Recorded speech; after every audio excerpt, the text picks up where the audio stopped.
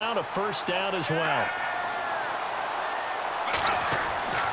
Now on first down, he'll drop to throw it. Looking for Johnson, and it's intercepted. Picked off by the Pro Bowler, Anthony Barr. And into the end zone.